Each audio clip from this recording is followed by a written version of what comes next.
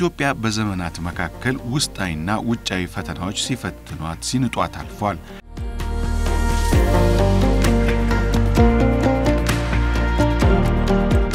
ለእነዚህ ፈርጅና መልከ ብዙ ፈተናዎቿም ሸብረክ ለመከራዎቿም በርከክ ያለችበት ወቅት እምብዛም አልተስተዋልም።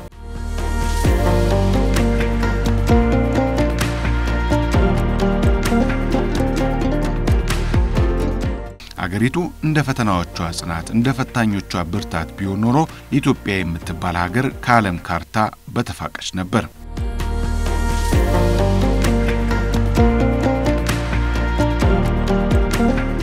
ኢትዮጵያ ፈተናዋ ትናንት አልተጀመረም። ሆኖም ልጆቿ በፈተናዎች ብዛት የማይደበዝዝ እንዲሁም በመከራ ብርታት የማይታጠፉ እጆቻቸውን አጽንተው በአንድነት አቆይተዋታል። ኢትዮጵያ እጅግ በጣም የምንኮራባትና ምናልባት አንዳንዴ እኛ ከምንሰጣት ግምት በላይ ሌሎች ጥቁር ሕዝቦችና የዓለም ሕዝቦች ለኢትዮጵያ የሚሰጡት ክብር በጣም የሚገርምና ያ አንዱ እንዳው በሙገሳ የሌለህን በመዋስ የሚነገር ሳይሆን እጅግ ፈታኝ በሆነ ዘመን ውስጥ ለጥቁር ሕዝቦች ከፍተኛ ገድል ያደረገች ጠንካራ ሀገር፣ ነጻነቷን ያስከበረች ጠንካራ ሀገር፣ በብዙ ነገሮች በተምሳሌትነት የምትገለጽ ሀገር ነች።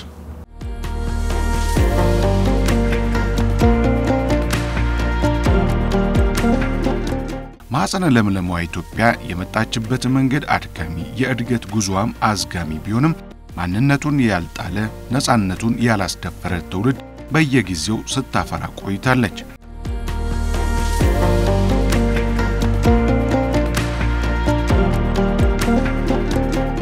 ከአድዋ እስከ ካራማራ ከሰገሌ እስከ ዶጋሌ ወራሪም መክታ ነጻነቷን ጠብቃ ዘልቃለች ኢትዮጵያ።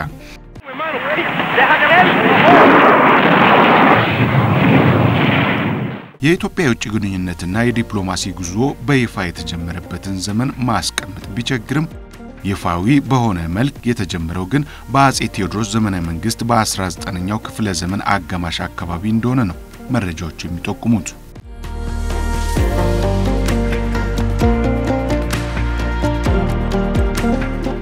የማታ ማታ እንደ አውሮፓውያን አቆጣጠር 2002 ይፋ የሆነውና የኢትዮጵያ የውጭ ግንኙነትና የብሔራዊ ደህንነት ፖሊሲና ስትራቴጂ ተብሎ የሚታወቀው የሀገሪቱን ተጨባጭ ሁኔታ የዳሰሰና ሀገሪቱን ወደ ላቀ የዲፕሎማሲ እንቅስቃሴ ያሸጋገረ መሠረታዊ ሰነድ እንደሆነ ሲነገርለት ቆይቷል።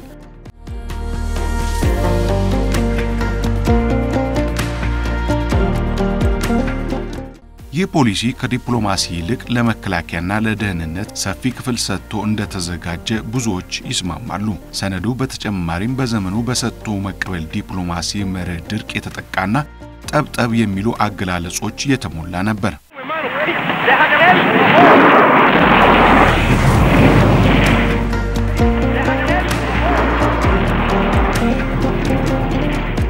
በኢትዮጵያ የለውጥ ችቦ ከተለኮሰ ከመጋቢት 2010 ዓ.ም በኋላ የውጭ ግንኙነትና የዲፕሎማሲ ማጠንጠኛው ተቀየረ።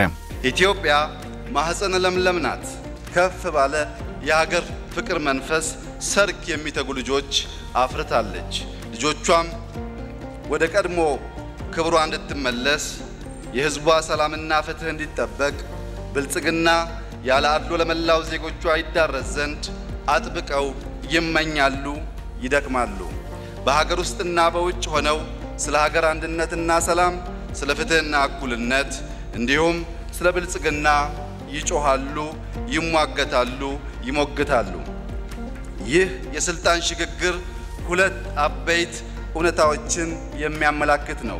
ክስተቱ በአንድ በኩል በሀገራችን ዘላቂ የተረጋጋና ሁሉን አቀፍ የሕገ መንግሥታዊ ስርዓት መሰረት ስለመጣላችን ማሳያ ሲሆን በሌላ በኩል ደግሞ ከጊዜው የፖለቲካ የኢኮኖሚና የማህበራዊ ሁኔታዎች ጋር እኩል የሚጓዝና በሕዝብ ፍላጎት የሚገዛ ሕዝብን አለቃው አድርጎ የሚያገለግል ስርዓት እየገነባን መሆኑን ያመላክታል።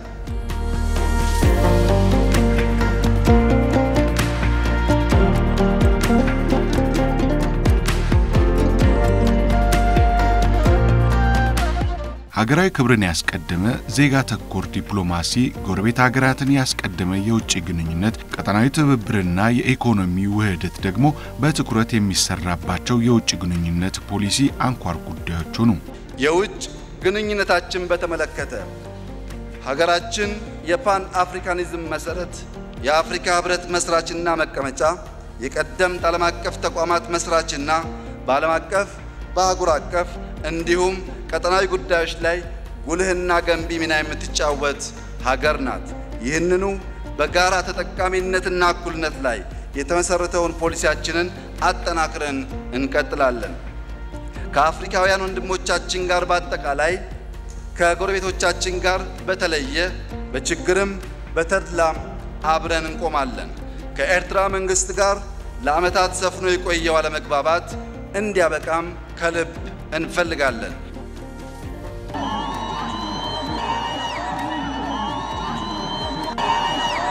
የኢፌዴሪ የውጭ ጉዳይና የደህንነት ፖሊሲ በቅድሚያ በሀገር ውስጥ ሰላም በማስፈንና በማረጋጋት ላይ ትኩረት በማድረግ በአካባቢያችን ብሎም በዓለም አቀፍ ደረጃ ዘላቂና አስተማማኝ ሰላም እንዲፈጠር እንዲሁም የጋራ ልማትና ትብብር እንዲጠናከር ማድረግ ላይ ትኩረት ያደረገ ነው። ለለውጡ ዋና ምክንያት በሀገሪቱ ውስጥ በኢኮኖሚውም፣ በፍትህም፣ በማህበራዊ በተለይ በዲሞክራሲ፣ በሰብአዊ መብት በልዩ ልዩ መስክ ህዝቡ የሚያነሳቸውን ጥያቄዎች በወቅቱና በተገቢው አዳምጦ መመለስ የህዝብ እርካታንና ፍላጎትን ማረጋገጥ ስላልተቻለ ኢህአዴግ ከጊዜ ወደ ጊዜ ስንቁን እየጨረሰ በመምጣቱ በህዝቡ የለውጥ ገፊነትና በራሱ በኢህአዴግ ውስጥ ባሉ ድርጅቶች እና የለውጥ ኃይሎች ሳቢነት ውጩና የውስጡ ትግል ተመጋግቦ አገራዊ ለውጥን እውን አድርጓል።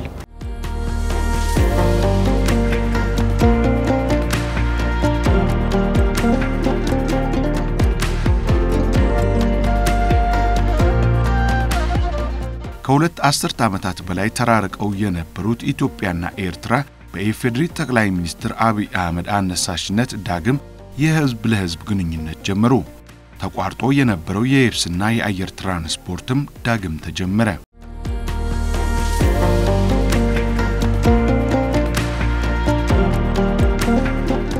ከጎረቤት ሀገራትና ከተቀረው ዓለም ጋር የኢትዮጵያ ግንኙነትም በትብብር መንፈስ ላይና በጋራ ተጠቃሚነት ላይ ተመስርቶ ቀጠለ።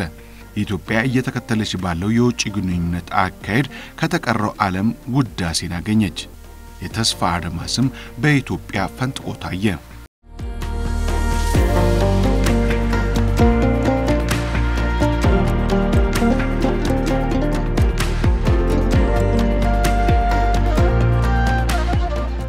ለውጡ እውን ከሆነ በኋላ በተለያዩ የአረብ ሀገራት የሚገኙ ዜጎችን ከነበሩበት ፈታኝ ሁኔታ በማላቀቅ ወደ አገር ውስጥ እንዲመለሱ የማድረግ ተግባር ተከናውኗል።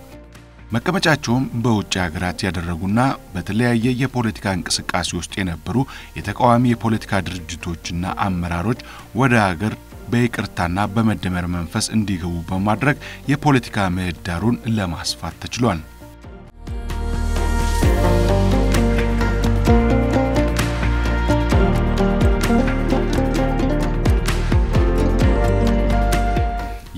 ግን የለውጥ ጉዞ አልጋ በአልጋ አልነበረም። ከጅምሩ በርካታ ማህበራዊ፣ ፖለቲካዊና ኢኮኖሚያዊ ፈተናዎች ማለፍ የግድ ብሎት ነበር። በዓለም አቀፉ ወረርሽኝ ኮቪድ-19 የጀመረው ፈተና ተገዳ እስከገባችበት ጦርነት ከዘላቂ ሰላም መታጣት በሉዓላዊ ሀገር እስከሚሰነዘር የውጭ ሀገራት ጣልቃ ገብነት በብዙ ስትፈተን ቆይታለች። የአገራችን ጂኦፖለቲካ የዓለምን በተለያየ መልክ ቀልብ የሚስብና ይሄ በአግባቡ የውጭ ግንኙነታችን በአግባቡ ከተያዘና ከተመራ አዎንታዊ እድሉ በጣም ሰፊ ነው። ይሄ ከተዛባ ደግሞ ተጋላጭነቱ እጅግ በጣም አሳሳቢ ነው።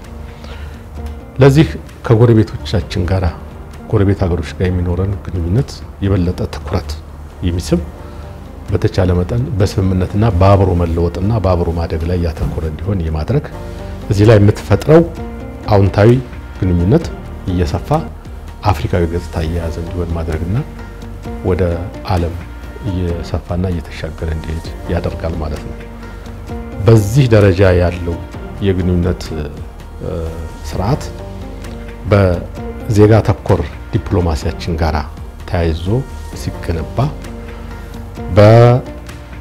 በትብብርና በወንድማማችነት ላይ በሁሉም ማዕዘንና ኮርነር ኢትዮጵያ መገለጫዋና የግንኙነት መርኋ ሲሆን ተደማጭነትን፣ ተከባሪነትን፣ ተጽዕኖ ፈጣሪነትን እውን እያደረጉ መሄድ ይቻላል ማለት ነው።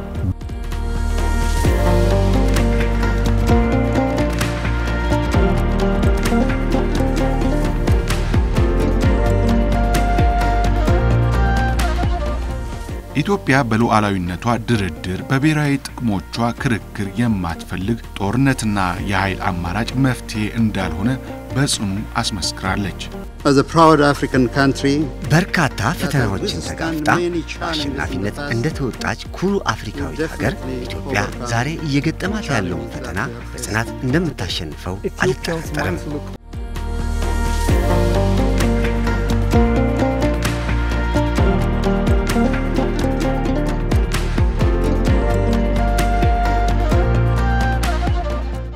The spirit of our soul is strong.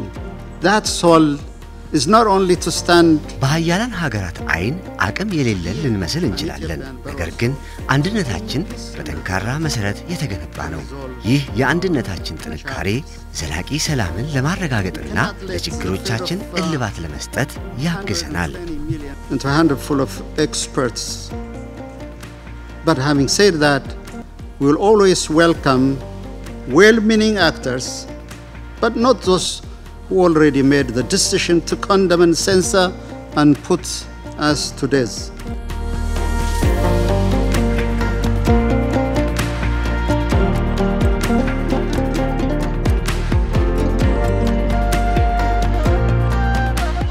ላለፉት ሁለትና ሶስት ዓመታት ኢትዮጵያ ተገዳ የገባችበት ጦርነት የበዛ ውድመትና ውድ የሰው ሕይወትን ከማሳጣቱም በላይ ደካማ መንግስትና አገር የማየት ፍላጎት የነበራቸውን የውጭ ኃይሎች ሙሉ አቅማቸውን እንዲጠቀሙ በር የከፈተ ነበር።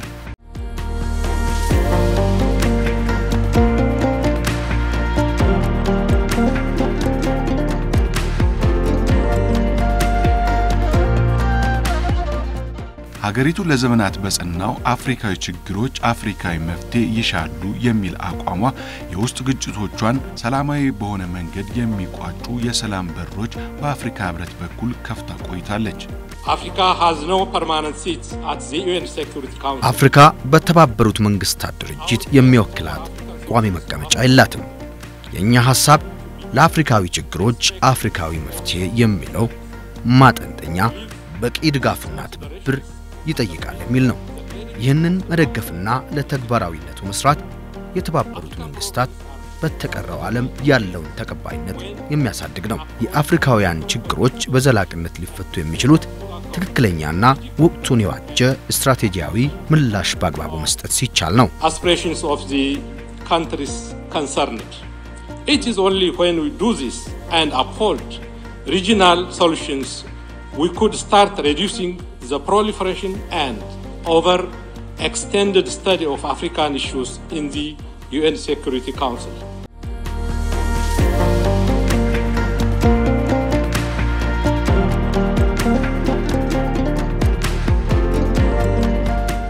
ይህም ፈር የለቀቀ ጣልቃ ገብነትን ለመቋቋምና ለመግታት እንዲሁም እውነታውን ለተቀረው ዓለም ማሳወቅ የሚችሉና በዲፕሎማሲው ስራ በእውቀትና በክህሎት የተሻለ አቅም ያላቸው ግለሰቦችና ተጽዕኖ ፈጣሪዎችም ከኢትዮጵያ ጎን ቆሙ። ኢትዮጵያ ማደግ የማይፈልጉ serious ችግር ያለባቸው የ mindset ችግር ያለባቸው አስተሳሰቦችና ሀገሮች አሉ። እሱን በአመጣጡ መመለስ ነው። የተፈጥሮ ሀብታችንን እንዳንጠቀም ተጽዕኖ ማሳደግ ማሳደር፣ አንድ የተፈጥሮ ሀብቱ ሳይነካ ለነሱ እንዲደርስ እና እኛ በድህነት ዘላለም እንድንኖር የሚታሰብ አጓጉል እሳቤ ነው። በሌላ በኩል ደግሞ ጠለቅ ያሉ ሌሎች የ geopolitical ጉዳዮች አሉ። እንግዲህ በ West ያሉት እንደዚህ ሀገሮችን እያነጻጸሩ geopolitically ይሄኛው የበለጠ important ነው፣ ይሄ important ነው ብለው የሚይዙት ነገር አለ ከሌሎች ከራሳቸው አንጻር ከራሳቸው interest አኳያ እሱም ሌላ issue ተደርጎ ሊወሰድ ይችላል።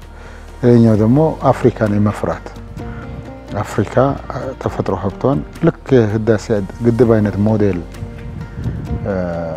ሌሎቹ ገንዘብ ሰጠን ወይም እንዲያደርግን ብለው ሳይገቡበት በራሳችን ራሳችንን ችለን መስራት ትልቅ የሚያመላክተው ነገር አለ። ለኢትዮጵያ ለራሷ በራሴ እሰራለሁ የሚል self confidence በከፍተኛ ደረጃ ያመጣል። ወደ ጎረቤት ሀገሮችና ወደ አፍሪካ ደግሞ ስንወስደው አፍሪካም ይህንን ሞዴል ተከትላ በፍጥነት ለማደግ ትልቅ ስራ መስራት ትችላለች እና ይሄ የማይመቻቸው አሉ።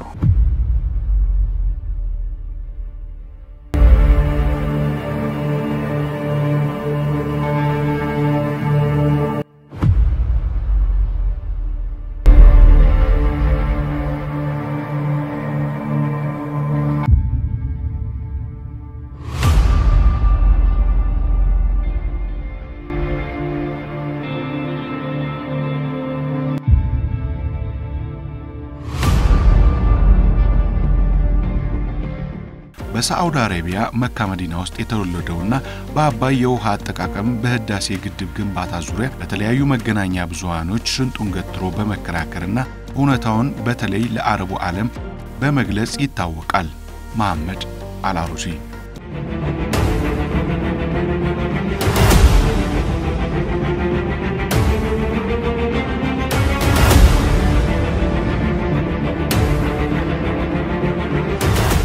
ወጣቱ ተንታኝ ታዋቂ የሚባሉት መገናኛ ብዙሃንን ሳይቀር በአባይ የውሃ አጠቃቀም ዙሪያ የሚያቀርቡት ዘገባ የተዛባና ፍርደ ገምድልነታቸውን በይፋ በሚያሳይ መልኩ መሆኑ የዘር ሐረጉ ለሚመዘዝባት ኢትዮጵያ እንዲሞግት እንዳነሳሳው ይናገራል።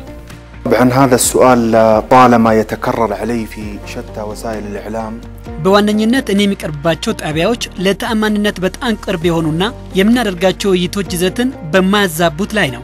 በተለይም ከአልጀዚራ፣ ብሉምበርግ፣ ቢቢሲ አረብኛና ሌሎችም የዜና ጣቢያዎች ጋር ከመቶ በላይ ውይይቶችን አድርጌያለሁ። በምናገርበት ጊዜም ያለኝ ስሜት የሚመነጨው እንደ ማንኛውም ዜጋ ለሀገሬ ካለኝ ትልቅ ፍቅር የተነሳ ነው። በአረቡ ሀገራት ያሉት ጣቢያዎች በአባይ ጉዳይ ላይ የሚሰሩት ዘገባ ለአንድ ወገን ያደላ መሆኑን በመረዳቴና በአንጻሩ የኢትዮጵያ ሀገር ውስጥ ሚዲያዎች ለዚህ ምላሽ ባለመስጠታቸው ይህንን ክፍተት ለመሙላት በማሰብ ነው ፊት ለፊት ቆሜ ስለ ሀገሬ እውነቱን ለመናገር የወደድኩት። ስፑትኒክ ሩሲ ስፑትኒክ ወራዲዮ ልቢቢሲ ኢዳዓት ልጀዛኢር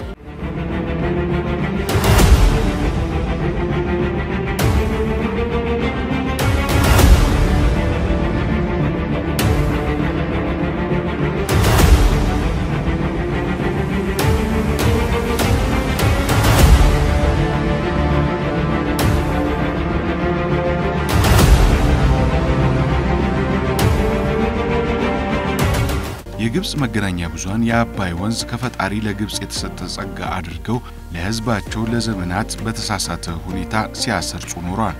የኢትዮጵያ መገናኛ ብዙሃንም የኢትዮጵያ ብሔራዊ አጀንዳና የኩራት ምንጭ የሆነው የህዳሴ ግድብ እስኪጠናቀቅ ድረስ በተጠናከረ ሁኔታ ህብረተሰቡን ሊያነቁ ይገባል ይላል። አማ ሱአል ታኒ ፈዓለይና የሀገር ውስጥ የመገናኛ ብዙሃን አዘወትረው ሊከተሉት የሚገባ አካሄድ በቅድሚያ ሀገራዊ አጀንዳዎችን መለየት ነው። እናም በዚህ ጉዳይ ላይ ጠንክሮ መስራት ያስፈልጋል።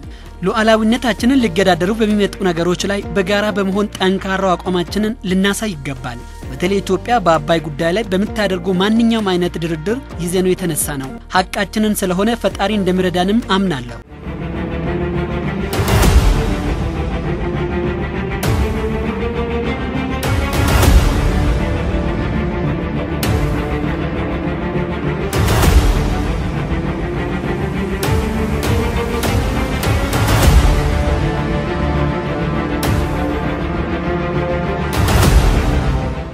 እንግዲህ እንዳልኩኝ ለዚህ ደረጃ ለመብቃት ከፍተኛው የህዝብ የመንግስት ከፕሮጀክቱ ጎን መቆም ነው። አንድ ስንሆን የትኛውንም ነገር ተቋቁመን ማለፍ እንደምንችል ሀገራችንንም አንድ እርምጃ ወደፊት ማራመድ እንደምንችል ከፍተኛ ተምሳሌት የሆነ ፕሮጀክት ነው። ህዝቡ የተለያየ አይነት የተሳትፎ መልኮች ይዞ እዚህ የደረሰበት ሁኔታ ነው ያለ። እንግዲህ ህዝቡ በጉልበቱም፣ በገንዘቡም፣ በእውቀቱም፣ በጊዜውም በርካታ መስዋዕትነት ከፍሎበታል። በዚህ መንግስትና ህዝብ በአንድ ላይ ሆነው የሚገነቡት ግድብ በመሆኑ የህዝቡ የየቀኑ የልብ ትርታው ነው ብሎ ማለት ይቻላል። እስካሁን ደግሞ ያደረገው ድጋፍ በጣም ቀላል አይደለም። በብር እስከ 18 ቢሊየን ድረስ አካባቢ የደረሰ ድጋፍ ነው እስካሁን ያደረገው በጥሬ ገንዘብ ብቻ በቦንድ ግዢ። ከዛ አርሶ አደሩና አርብቶ አደሩ በአካባቢ ጥበቃ ስራ የሚሰራበታል። ይሄው ለዘላቂው ማለት ነው እንግዲህ ግድቡ መገደቡ ብቻ ሳይሆን የአረንጓዴ ልማት አሻራችንም ጎን ለጎን የአፈር መሸርሸርን መቀነስ መቻል አለብን። ስለዚህ ህፃን፣ ትልቅ፣ ሴት፣ ወንድ፣ የተማረ ያልተማረ ሳይል ሁሉም እዚህ ግድብ ላይ አሻራውን አስቀምጦ አሁን እንደምታዩት እዚህ ላይ ደርሷል። በትልቅ ሁኔታ ነው ያየሁት። ኢትዮጵያውያን ገንዘባቸውን፣ እውቀታቸውን ከዚያም አልፎ ህይወታቸውን የገበሩለት ፕሮጀክት ነው። ብዙ ንጹሐን ዜጎች ከጥፋታቸው ውጪ ይህ ጉዳይ ተከውኖ በዚህ መንገድ እንዳናየው ህይወታቸውን ገብረዋል።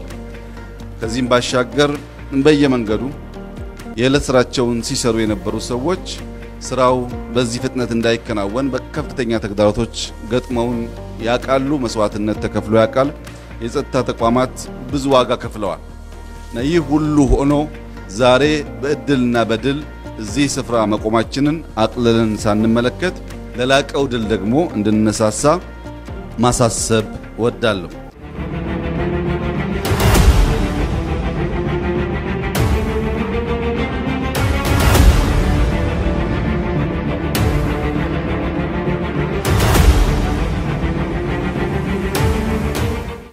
የበሰለው የኢትዮጵያ የዲፕሎማሲ አካሄድም ፍሬ ያስገኘ። እንደ ጠላት ምኞት ሳይሆን ኢትዮጵያ በአባይ ወንዝ ላይ እየገነባች የምትገኘውና በአፍሪካ ቀዳሚ የሆነው የህዳሴ ግድብ ተደጋጋሚ የውሃ ሙሌትና የኃይል ማመንጫ ተግባር በተሳካ ሁኔታ ማከናወን ተቻለ።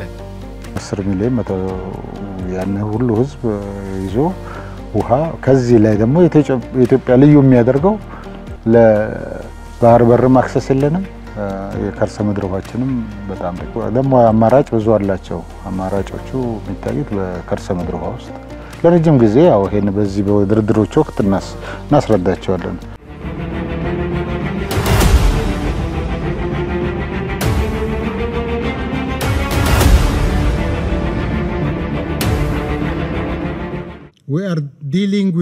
እኛ የምናወራው ስለ hydroelectric power project ነው።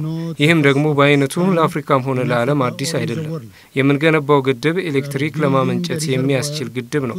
ለመረጃ ያክል እኛ የምንገነባው ግድብ ግብጽ ከገነባቸው የአስዋን ግድብ በሁለት እጥፍ ያንሳል። ይህም ግድብ 65 ሚሊዮን ያክል የሚሆኑ ኢትዮጵያውያን የኤሌክትሪክ ኃይል የማግኘት ተስፋን ሰንቆ የተገነባ ነው። ሌላ ልዩ የሚሆነው ደግሞ ይህ የ500 ቢሊዮን ዶላር ግድብ የሚገነባው በኢትዮጵያን ደም እንባና ላብ መሆኑ ነው። ይህ ግድብ በትክክለኛው ጊዜ ትክክለኛው ቦታ ላይ ለሕዝብ ጥቅም የተገነባም ግድብ ነው። The GERD is a right dam built at the right place for the betterment of people in the broader region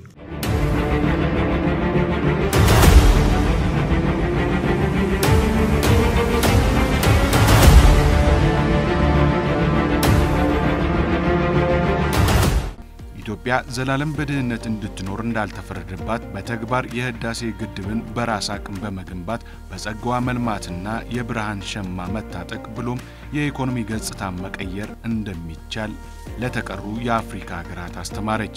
በታሪክ ውስጥ ማለፍና ታሪክ መስራት ሁለት የተለያዩ ነገሮች ናቸው። በታሪክ ውስጥ ማለፍ እድል ነው። በታሪክ ውስጥ ማለፍ አንድ ሁነት ሲከወን ነበርኩ፣ አይቻለሁ፣ ሰምቻለሁ ብሎ መመስከር መቻል ነው። በዚያ ታሪክ ውስጥ ማለፍ ብቻ ሳይሆን ታሪክ መስራት ግን እድል ብቻ ሳይሆን ድልም ነው። በመገኘት እውቀትን፣ ገንዘብን፣ ሐሳብን፣ ጉልበትን በመስጠት አንድ ኩነት እንዲከወን ማድረግ ከእድል ያለፈ ድል ስለሆነ እኛ የዛሬ የኢትዮጵያ ትውልዶች አሁን በሕይወት ያለን የኢትዮጵያ ዜጎች በሙሉ የዚህ እድልም የዚህ ድልም ተቋዳሽ ስለሆን እንኳን ደስ ያለን እንኳን ደስ ያላችሁ ማለት እወዳለሁ። እንግዲህ ይሄ ፕሮጀክት እውነቱን ለመናገር ከኢትዮጵያ እኩል ታችኛው ተፋሰስ ሀገሮችን የሚረዳ ፕሮጀክት ነው። ይሄ ጠፍቶ አይደለም። ያው የነበረው ስታተስኮ ወይንም እኛ ብቻ እንጠቀም የማለት የግለኝነት ካልሆነ በስተቀር ይሄ ፕሮጀክት የጋራ ተጠቃሚነትን የሚያበስር በታችኛው ሀገራት በዚህ በአባይ ተፋሰስ ውስጥ ያሉትን ሀገራት የጋራ ትስስር ሊፈጥር የሚችል የነበረውን የጥርጣሬ መንፈስ አስወግዶ በጋራ ተሰርቶ ሀገራት ሁሉ በጋራ ማደግ እንደሚችሉ ሊያስረዳ የሚችል ፕሮጀክት ነው። ይሄ እያንዳንዱ ይህም ፕሮጀክት የሚቃወም የታችኛው ተፋሰስ ሀገራትም ይሁኑ ሌሎች ምሁራንም የሚያውቁት ነው የሚያውቁት ነው። ግን በተቻለ መጠን ለማሳክ ለማሰናከል እኛ ደግሞ የተፈጥሮ ሀብታችን እግዚአብሔር አድኖላል። እግዚአብሔር ያደለንን የተፈጥሮ ሀብት መጠቀም መብታችን ነው። ሌሎቹ ላይ ጉልህ ተጽዕኖ ሳናደርስ በጋራ ተጠቃሚነት ለመስራት የሚቻል ነው።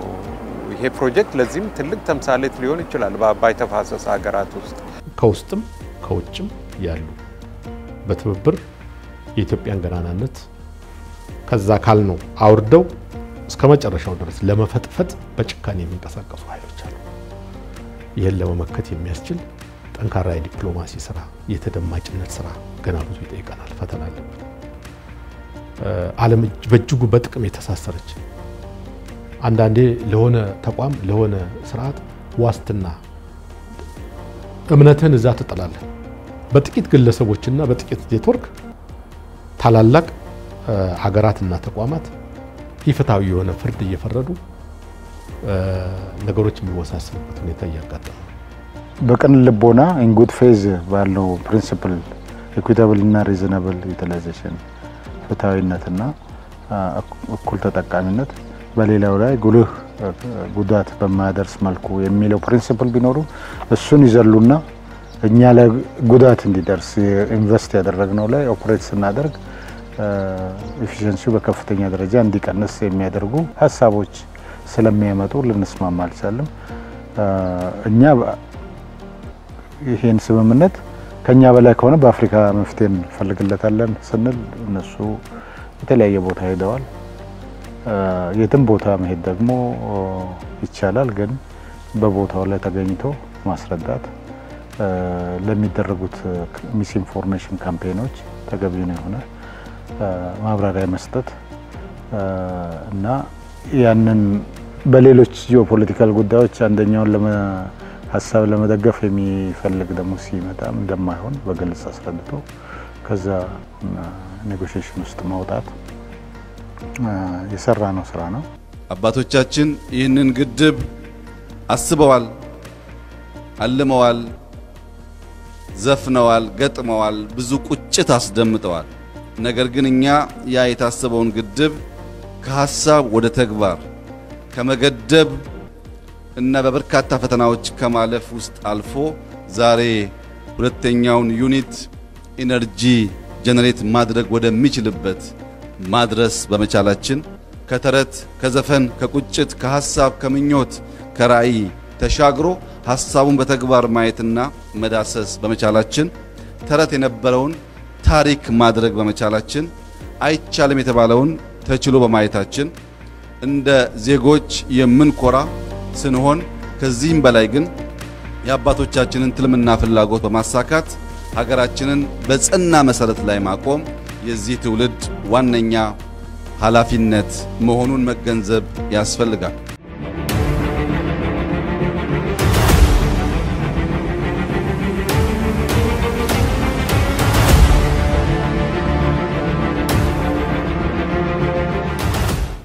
የኢትዮጵያ ቀጣይ የዲፕሎማሲና የውጭ ግንኙነትም የሀገሪቱን ብሔራዊ ጥቅም ባስጠበቀ የጋራ ጥቅምን ባማከለ ሁኔታ ተጠናክሮ ይቀጥላል።